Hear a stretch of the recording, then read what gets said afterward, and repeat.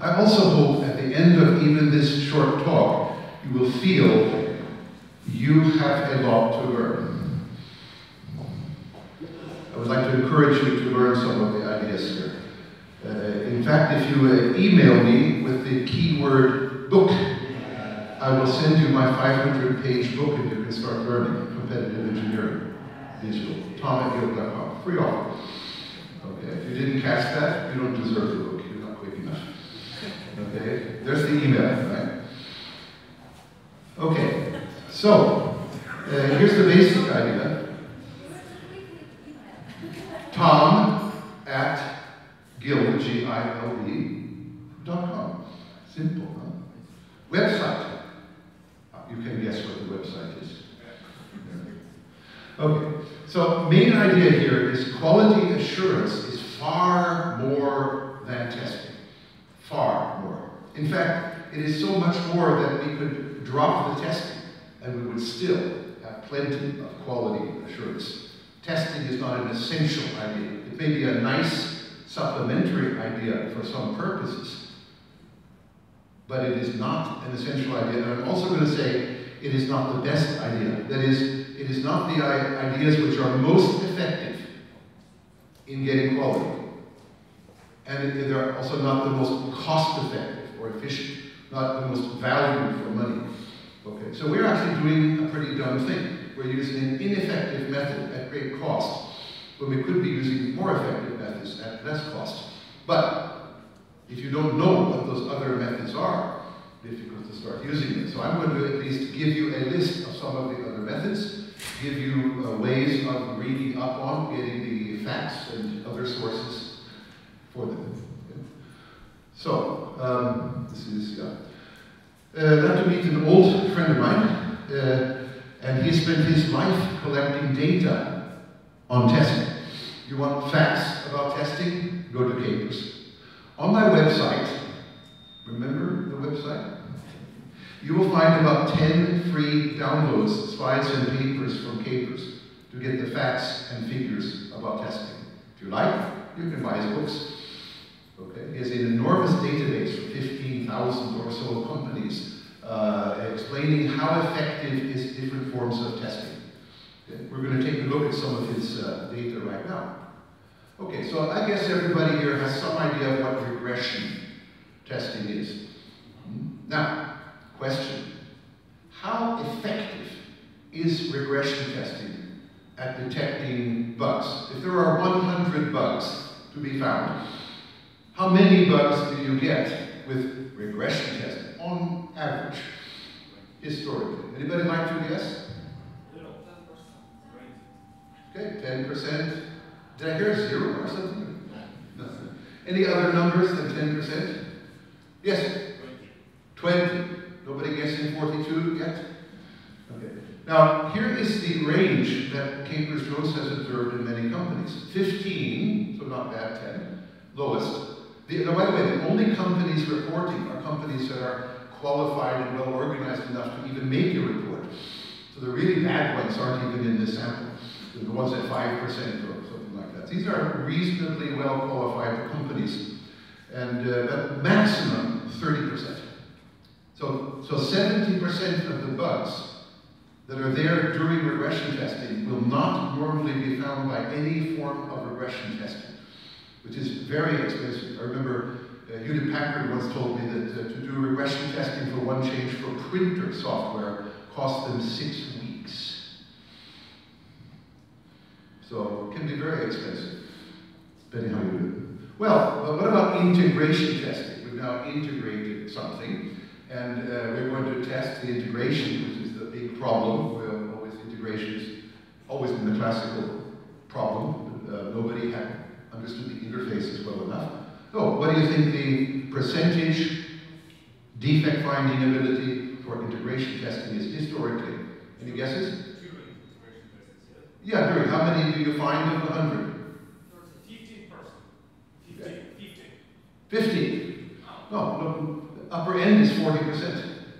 Not maybe one finds 50 by some, okay, but the, you know, the range of reported from thousands of industrial companies, 25 to 40. Now you can see for where I'm going this, I'm trying to make the point that testing is not really very effective. Okay? If you have 100 bugs and you find 25, 75 are. And then people say, we have 75 bugs. Why did you spend six weeks testing? Didn't you do anything? You know, they have a right to ask, if you have so many bugs, what's the point of all that testing? You know? And they don't know the difference between 75 and 100 bucks. Because one bug is one bug too many. So here is a range of different class of tests. Notice the most effective test is high volume beta testing with more than a thousand clients, 60 to 85. So the upper end of any known form of testing is 85%. In other words, 15% will always escape no matter what you do if you're using testing find the bugs. That's how bad we are. We ought to know it. Maybe ought to warn other people. These are the limits of our technology. There is nobody does it better. Don't say we are bad. If we're at 85%, we're good. We're at the upper end of the state of the art. Don't say, don't say you didn't find those 15%. You say, of course not. Nobody knows how to do it. If you know, tell me. If you don't, shut up. Okay. Now, there's another method known as static testing, but also more well known as software inspection. I wrote a book about it, in 1993. Dorothy Graham, also testing specialist. Still can be bought. old book. Now, but, so inspections are a form of test. They're a form of looking for bugs. I'm simplifying. You're looking for more than bugs. You're looking for all kinds of problems. Yes? Some kind of review. Some kind of... Code review.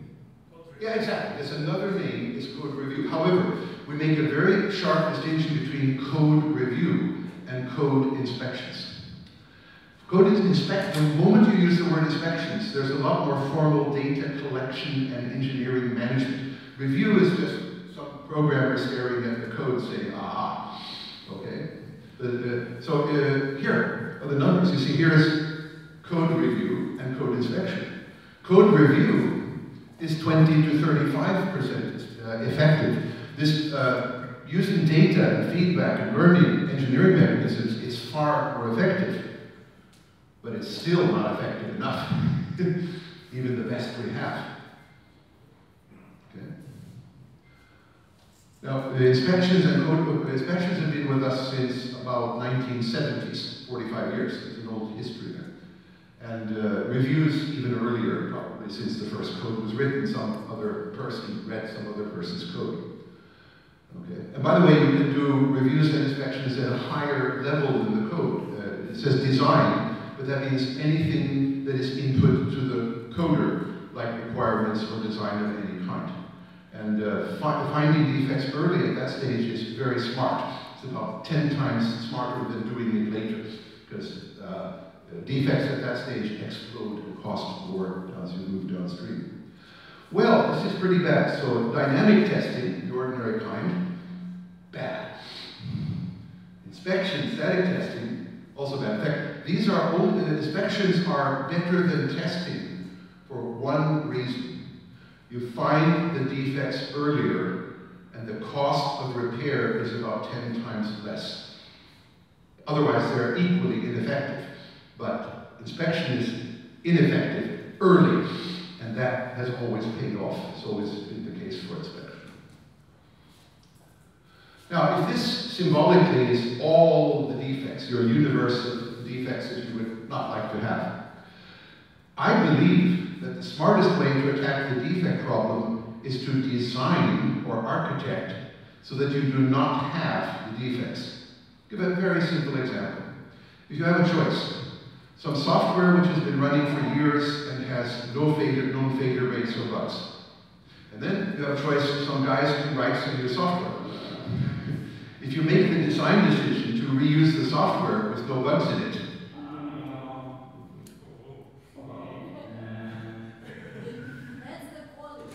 Yes. If they designed the wall so the sound couldn't get through, we wouldn't have the problem. Now we have detected it at a late stage after the building is built, which is a bit too late. Okay. So I'm going to argue that there's a saying, you do not get quality by testing it in. You heard this, right? You get quality by designing it in. This is, every engineer knows this. Maybe not the software engineers. How many people say, I know that? You get quality by designing it in. Hmm, a few hands going up. Okay. Also, you can design things in, but you can also do something we call defect prevention. This means you prevent the bug from happening by giving, say, the programmer more information, more training, more support. See? And you prevent more high quality inputs from requirements. Then you can prevent the defect from getting in there. Okay, so that's another approach I'm going to be talking about. Then we have the inspection method, which is superior to testing, not in effectiveness, but in being early, and therefore giving you lower cost of correction, more time, less money to do it. Okay. So these are some of the alternatives. All of these are quality assurance alternatives. So if you have a chief technical officer saying, I want to assure quality, okay, and you say, ah, no problem, I will test. But I'd like somebody to say, well, there is a broader way of attacking the problem. Maybe some testing, but why don't we do the more cost-effective things first? Then we'll see what role testing has to play. Okay? Now, Capers-Jones does an interesting thought experiment because the different forms of inspection and test can be done in a serial manner, one after the other. Okay? Like a set of fishing nets catching more and more fish as they go through. So he does the following well, uh, in this diagram, uh, there's always some defects remaining. My friend Gerald Weinberg had a wonderful way of putting it. When you think you have found the last bug, how many more remain? And the answer is always at least one more. If you think you got it all, you don't, you don't know how to measure or sense them, or you're a bit optimistic, or very young, or something like that. There's at least one. There's no such thing as pure, guaranteed, forever, zero defect software. Everybody would like it. Nobody knows quite how to prove that it's there. So Capers does the following experiment. It says if you choose between 8 and 10 different stages of inspection or review, followed by different stages of testing, the maximum effect you can get is 95%. So if you have 100 bugs, 5 will escape, even this. In other words, there is no hope of getting zero defect from any known combination, even at the state-of-the-art limits the best, for all of them, using 8 or 10 forms of static testing called inspection or dynamic testing, which we normally just call testing. In other words, if your organization demands zero defects, because a bug could kill people in an aircraft or something like that, or a train, then uh, uh, no form of testing or inspection is good enough to get that. There, we must use other methods to assure that even this reliability quality, bug-free is in there, not to mention all the other qualities. Um, one of the reasons for the range is, uh, of, of uh, you know, 20 to 35 percent is that you start off practicing something but your, culture can systematically improve. And so you get better and better moving from the low end of capability to the high end of capability, if you're really trying to improve. That's, uh, so if we just use tests and use the numbers of capers, then in the long term, you know, uh, the errors that get to the field that escape from tests are uh, given by this uh, curve. Now, if we add inspection before uh, inspection through the design, the requirements, the code, even the user manuals, and filter out a lot of the problems and defects early, then the defects that get to test will be much fewer. You'll still have the same percentage of finding what remains, and you still won't find everything. There will still be some in the field. But you will at much lower cost, this is 10 times cheaper, faster, cheaper, you will remove those bugs. Okay? This is very well recorded. If you Google inspection experiences or data, you find hundreds of papers and research proving this point. But Capers Jones has maybe the most solid database uh, proving these ideas. Now, if we take one more stage of maturity and we go for what is known as defect prevention, know, there's a thing called the defect prevention process. Originally, it is identical with capability maturity model level 5. Make a long story short. It's a process developed by Robert Mays and Linda Jones of IBM Research Triangle Park and about 1980. And basically, they don't prevent, defect prevention doesn't mean you find them and fix them before they go on. Many people misunderstand the word. You prevent them ever happening. They just don't happen. That's prevention. Okay? It's not detection and correction. It is the, the error by the programmer or the, even the requirements writer is not made. Now, we know the, the data from this, and it starts about 45% and goes up to, say, 60, 70%. So if you plug this process in, uh, you will prevent the vast majority of, let me call them bugs.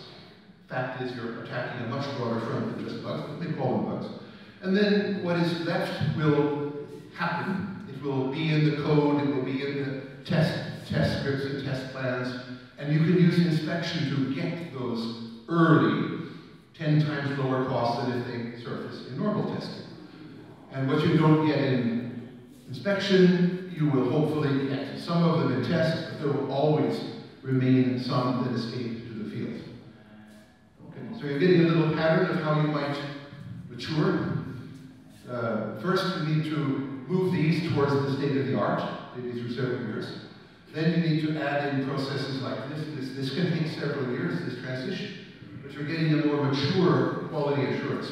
See, here you are, here you are assuring quality by preventing bad things happening. Here you're assuring quality by capturing that things early. Here you are capturing before you go to the customer or the field. Okay? Different aspects. But these are very well developed disciplines for decades before you were born, most of you, right? I figured out maybe I'm the oldest guy in the room. I'm 72. Anybody beat me? Uh, but I am your historian. I remember effective things that other people have forgotten. So I'm here to remind you of them. Now, looking at the design quality in 90, this is just symbolic for, you know, that motor was not made by taking a very bad motor and patching it and finding bugs. That motor was clearly made by good mechanical motor engineering design, as almost anything we see around us. Okay. Um, here, uh, if you take an old car in probably Cuba and uh, keep on repairing it, does it become a new Tesla S? That's my new car coming in December. Can't wait. Okay. Uh, in Norway, we have a fantastic deal. On the electrical car, no taxes whatsoever forever. Same here. It's true. Oh, I didn't know any other countries had done this. There's a, a rebate of seven to fifteen thousand dollars in the U.S. And Norway has eliminated all taxes to encourage the green revolution with cars. So it's a fantastic deal. So the second best-selling car in the whole of Norway is the Tesla S after the Golf. And Norway is the second biggest market in the world after the U.S. for Tesla, which is interesting. Maybe Latvia third biggest market. Okay, interesting. But the, the Tesla is designed from the ground up with revolutionary principles, like the safest car that ever tested. It scores 99 out of 100 points in consumer reports. Nobody's ever scored higher. It's not done by getting bugs out of an old Ford. It is done by designing from the ground up. It's quite amazing stuff. Okay, now here's my little model uh, of qualities. Um, for any object you like, whether it be software or hardware or combinations, there are a number of quality aspects. And just for example, reliability, performance, security, usability, maintainability. Okay? And all of these have the characteristics symbolized by the arrow of being variable more or less usability, more or less security. Now, real engineering, and what I'm here to do is to encourage you to be more software engineers or even test or quality assurance engineers, and less testers and coders. Move up one level to real engineering that the rest of the world understands in almost everything else. And this means we're going to have to quantify how much security we want. Go to my website, read a paper called Quantifying Security. We need to quantify how much user friendliness we want. Set it as an engineering target. Want to know how to do that? Download chapter 5 from my website of the competitive engineering book Scales of Measure. Exactly how to quantify usability is in there. We've been doing it for decades. So, we, in other words, engineering means we quantify how good we want to be. Then we hand the quantification, which is a quality requirement, this multi-dimensional quality requirements to an architect or design engineer and say, design me something that will meet these quality requirements. That's called engineering. And by the way, we don't have unlimited time and unlimited budget, so it has to be done in a year. It cannot cost more than the consumer will pay, and so you must design within the constraints I give you. And good engineers feel that's an interesting challenge. Find the designs or architectures that get us to nice levels of qualities within any given constraints. That's real engineering. Now, by the way, how many people here do something like that? They engineer quality, not, not personally, but at your company, somebody does it, right? Very interesting. This is to software? Firmware. Uh, firmware, okay. Yeah. Because there is a culture called real engineering which does this. And, and this is what I mean by designing quality in. You set numeric targets given to real engineers, and they know the technologies that will get us to these levels within these costs. They plug them in, try them out, and if it works, the design works, it? Okay, here's a simple example of setting a quality goal. For example, uh, we want to, to have a goal to have a kind of usability called learning ability.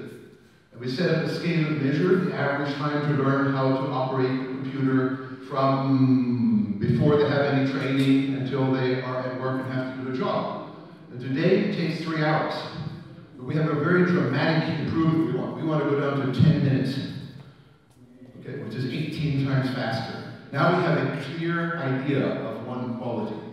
Now we hand it to the designer, said, okay, uh, the current architecture design of today's products is at this level, make it 18 times better by design. And good engineers will find solutions. The most fun is to go order of magnitude better. A wonderful, fun challenge for engineers.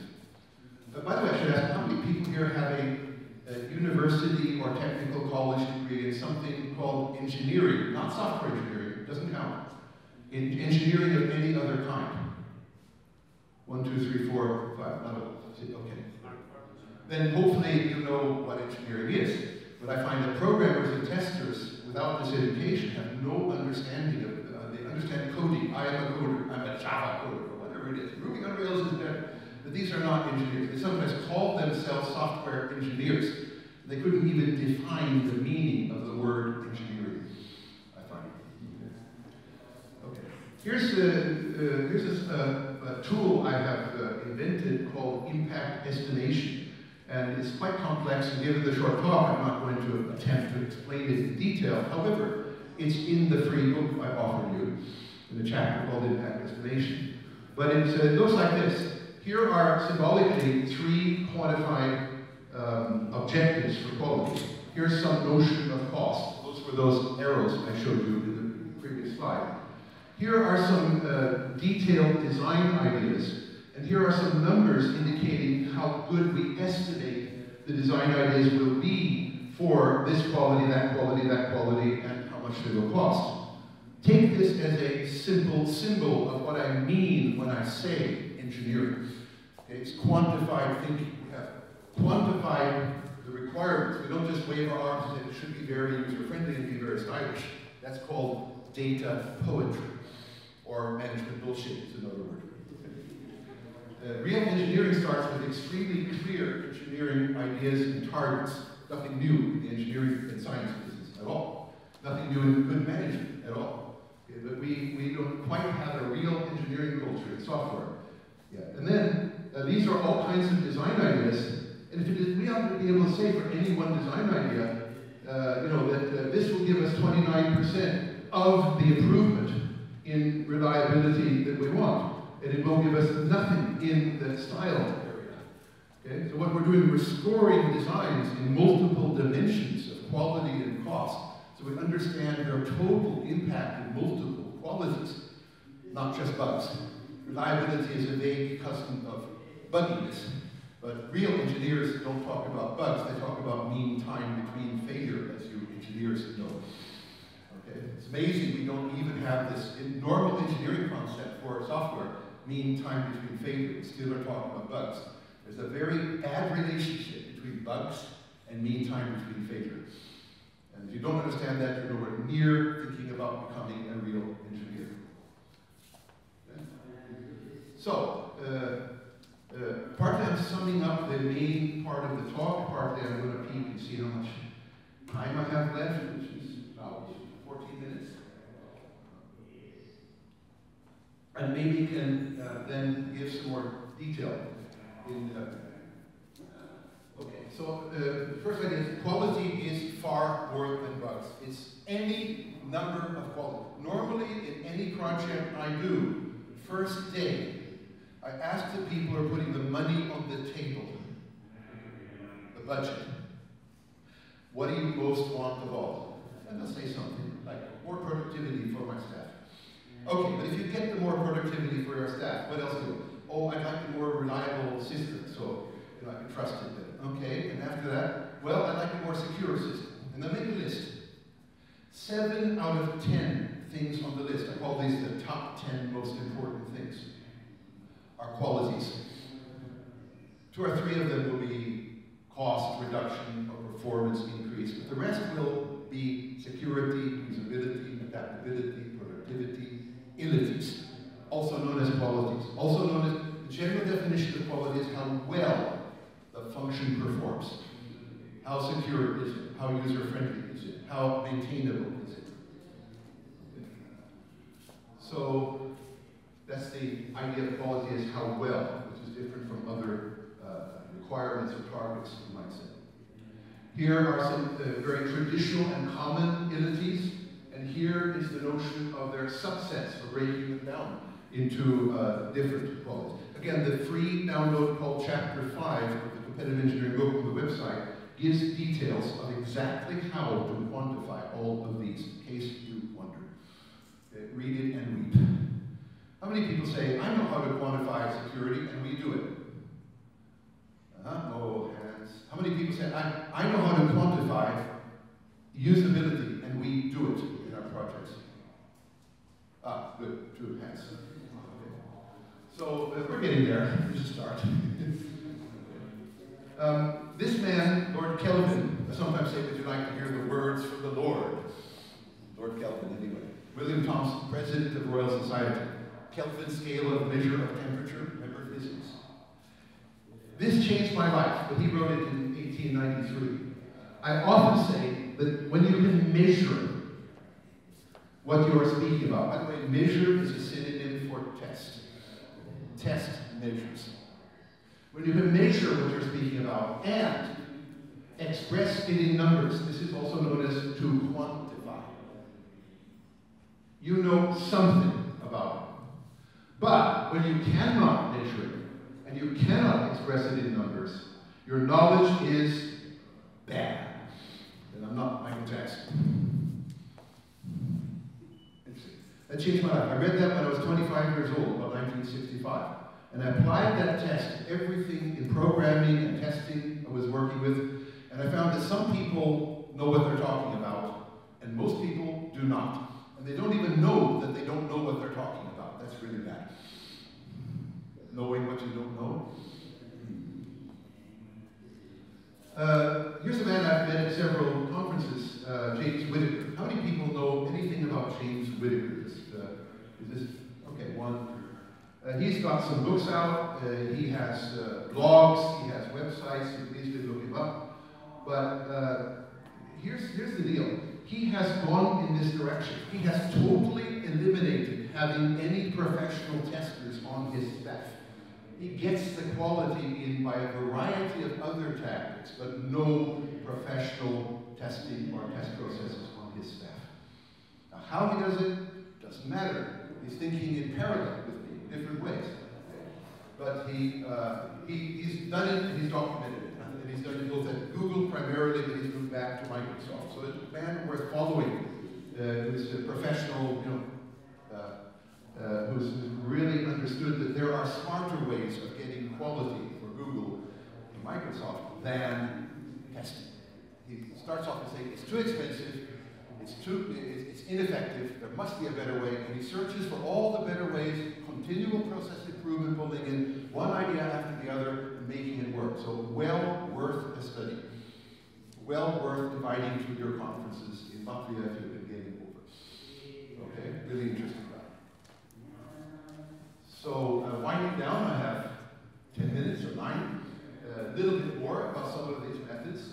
The first, uh, I actually hold a uh, is between one and three day course. One day is at conferences and three days at British Computer Society for free in London, by the way. I have lots of free courses in London. You know how to get there. Uh, one coming up two weeks from now on project management, three days. Okay. Go to the British Computer Society specialist group on quality and find the free course. Then a cheap Ryanair ticket, stay with a friend from Latvia, and you get the free course. Then you go into some detail about these methods with me. If you can't get there uh, nice to me, I might share my documentation for the course with about 200 papers. But what I teach there is number one, I teach the first thing you need to do is expand your horizon from this narrow uh, agile manifesto thinking of customer and user and get to the other 40 stakeholders who have values and qualities that need attending to. Okay? How many people here have a stakeholder analysis process? A few, right? You're all sitting in the back. Interesting. That's where I sit too. Okay. And how many people believe in user stories and use cases and stuff like that? Uh, read my paper, What's Wrong with User Stories at agilerecord.com or ask me for a copy. Or I'll go to the website again. That's a primitive, childish world, which doesn't. The problem with user stories is, and I've talked with Mike Cohn about it, a good friend, uh, it doesn't cover quality. He was asked on his blog uh, website, can we not integrate quality ideas into the user stories? And he said, yes, use Tom Gilb's methods, plug them in. So it's not there, quality, in user stories. But it could be. But we have to change the culture a little bit.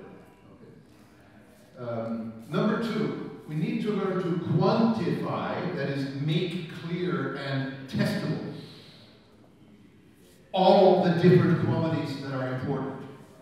This is a prerequisite for clear thinking about quality. Okay? We do it what we say, well, we want zero defects. Well, that's the beginning of quantifying that quality.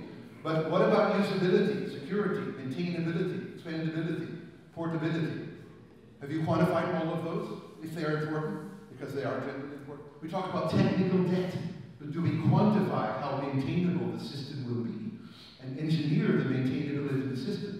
See my paper on the website about engineering maintainability in the system. Okay, there's also an agilerecord.com uh, uh, column on exactly that subject, which is much shorter. Okay, so we need to learn to, this is the beginning of it being an engineer or a clear, logical thinker. We have to learn to quantify all those qualities which the people who are paying for our projects declare to be important. Maybe they can't quantify but if we're to be real engineers, they should be able to say user-friendly. We should be able to say, here are some numbers, is this what you need? And then if they say, yes, okay, then we will engineer this in, and we will somehow, and we will design it in. Then we will test and measure that it is in. We won't be testing for bugs, we will be testing for quality. Make sure it's there. Um, always skip this. This just proves that I invented CMM level 4. Anyway, uh, here's, got three minutes, right? Or what? Or, oh no, that's my own five minute signal. Oh, nice. I get three, five minutes. Um, here's a real example of uh, something. One, one customer of mine who shall remain anonymous had a project that took eight years and spent $160 million. Big project. It totally failed to deliver anything. And I got the job of analyzing why. And I asked them, what are the top 10 things the men with the money were talking about on PowerPoint slides when the project was approved? And this is the list. Take a look at that. They're all qualities, but they're not quantified. One exception, right? So what is this? Management bullshit. Read my paper on how to fight management bullshit on the website. Okay? Normal management bullshit. I brought this up with the CIO, and I said, I know why your projects failed. Nobody on the project had a clear idea of what the management wanted. So, but they happily spent $160 million on new technology, which delivered nothing. But they got paid, they had fun. They couldn't care less, no responsibility whatsoever. Uh, the, the CIO said, yeah, I also made that point eight years ago, but my boss, the CEO said, we're in a hurry. We don't have time for that. Eight years or eight years?